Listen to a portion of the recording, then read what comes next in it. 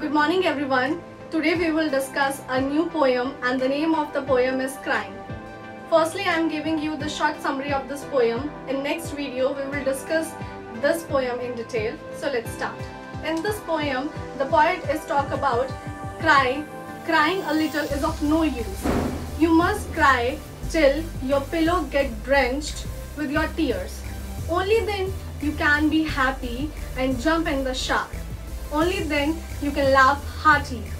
People may wonder at your activity but don't mind.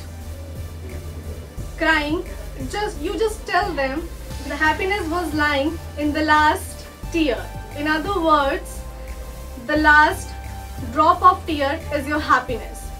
तो इस poem में जो है पोइट ने ये बोला है कि रोना वो भी थोड़ा सा रोना जो है आपके लिए जो है वो पूरा काफ़ी नहीं है जब आप रोते हो तो खुलकर रो इतना ज़्यादा रो कि जब तक आपका पिल्लो जो है, आपका सहना जो है, वो पूरे ढंग से जो है, वो गीला ना हो जाए, भीग ना जाए। उसी के बाद जो है, आपको प्रसन्नता होगी। उसी के बाद जो है, आप शार आप शार्प में जम कर सकते हो। उसी के बाद आप खुलकर हंस सकते हो। हाँ होगा, लोग आप पे, आपकी इस गतिविधि पर, आपकी इस एक्टिविटी पर पहले जो है, बहुत ज़्यादा मतलब सोचेंगे कि, अरे, ये तुम क्या कर रहे हो?